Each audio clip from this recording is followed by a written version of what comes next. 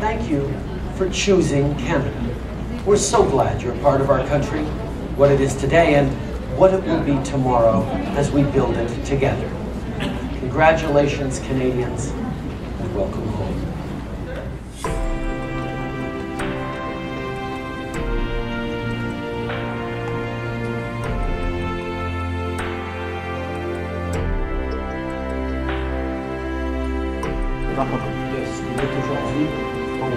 Sera demain, alors que nous.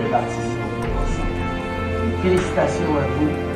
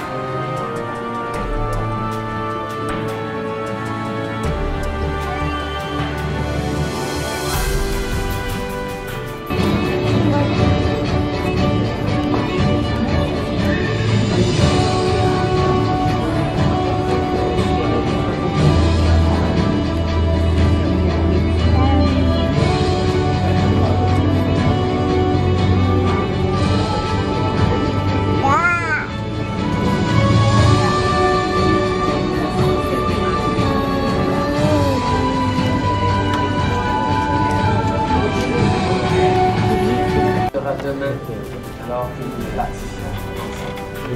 Félicitations à vous, Canadiens.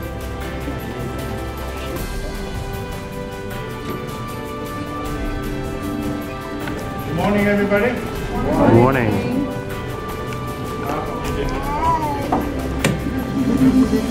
Very good. Good morning. Good morning. of Turtle Island. The histories of Indigenous people in Canada are rich and diverse and stretch back many millennia, long before the arrival of the first European settlers. Today, we're gathered on the traditional territory of the Huron-Wendat, the Seneca, and most recently, the Mississaugas of the Credit River. Canada today remains home to many First Nations people. They continue to play an important role in Canada's development and future. We're grateful to be living and working on these lands. So we have 105 people from 21 different countries gathered here waiting to become Canadian citizens. For some of you, the journey from your home country to this room may have been a simple one, but for others of you, it will have been a longer and more complicated journey. You have all been getting acclimatized to a new culture, literally a new climate. Some of you have had to learn a new language, maybe two. At the same time, you've been working or studying or both. And alongside that, building a home for yourselves and your families. It takes a remarkable combination of hope, fortitude, and hard work to build a life in a new country. You should all be proud of what you've achieved. And as you sit here waiting to take this last step to become Canadian citizens, I can only say that I'm privileged to be here to share this moment with you. The Canadian Charter of Rights and Freedoms represents those shared values, the values that Canadians consider essential to living in a free and democratic country. Along with your responsibilities and your rights, sorry, along with your rights also come your responsibilities. Chief amongst those, you are responsible for obeying the law, for taking responsibility for yourselves and your families. This year, 2019, actually marks the 50th anniversary of the Official Languages Act of Canada. This is the statute that enshrines your right to be dealt with in the language of your choosing whenever you have dealings with the federal government. Bilingualism is an important Canadian value and I'd encourage you all to take advantage of whatever opportunities you have to learn both of Canada's official languages. Je jure. Je, que je serai. Je serai fidèle. Fidèle. Et porterai. Et porterai. Sincère allégeance. Sincère allégeance. À Sa Majesté. À Sa Majesté. La Reine. La Reine. Elizabeth II Elizabeth II reine du Canada, reine du Canada, à ses hériteurs à ses serviteurs. Et successeurs, et successeurs, que j'observerai que je serai fidèlement. fidèlement. Les lois du Canada. La loi du Canada. Et que et que je romprai je remplirai loyalement loyalement mes obligations les obligations de citoyen des citoyens canadien. canadiens. I swear swear that I will be faithful that I will be faithful and bear true allegiance and bear true allegiance to Her Majesty to Her Majesty, Queen Elizabeth II, Queen Elizabeth II, Queen of Canada, Queen of Canada, her heirs her heirs and successors, and successors, and that I will and that I will faithfully observe faithfully observe the laws of Canada the laws of Canada my duties and fulfill my duties as a Canadian citizen. as a Canadian citizen. Congratulations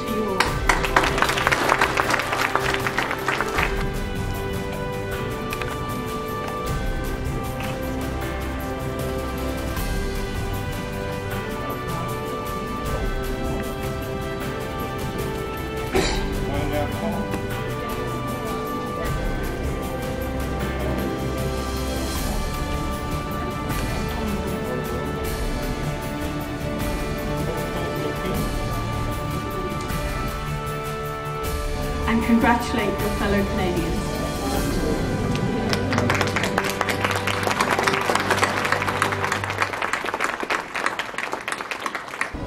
My last few words today are addressed to the children and the younger people in the room, of which we have many. We have statisticians, art historians, nurses, psychologists, drivers. People emigrate from their home countries for many reasons. It's undoubtedly true that there are as many reasons for being in Canada as there are families here today. The thing that's universally true, though, is that those of us who are parents wish for a brighter future for our children. So, to that end, you will be hearing, and you will already have heard throughout your childhoods, no doubt, your parents telling you that you have to work hard, you have to strive, you have to get good grades. And this is all really good advice, of which I'm sure many of you already have taken to heart. I'm going to ask you, though, to do one extra thing. I'm going to ask you to make time in your school lives, in your study lives, for creative work, for art. I'm going to invite you to sing songs, maybe have a go at writing a song, to draw pictures, to write stories. Firstly, except for those Canadians with Indigenous, Métis, or Inuit roots, the rest of us, we trace our roots to outside of Canada. That means when you're studying history in school, when you're reading about iconic Canadians, bear in mind that much of that history is the history of the immigrants that came before us. And those iconic Canadians, many of them were immigrants themselves, or the children, or grandchildren, or great grandchildren of immigrants. What does that mean for you as someone born outside of Canada, studying here, building a life here, building an adulthood here? It means your story is also a Canadian story. Your family's story of coming from elsewhere and building a life in this country is also a Canadian story. And whether you choose to sing that story or dance or write or sculpt or whatever your preferred artistic expression is, however you choose to tell that story, it's a story that needs to be heard because your stories are the stories of what it means to be Canadian in the 21st century. So I invite you to listen to your parents, to do your work, but to make time for creative work and to build your imaginations. And I hope you will all dream really big dreams for your futures. Thank you.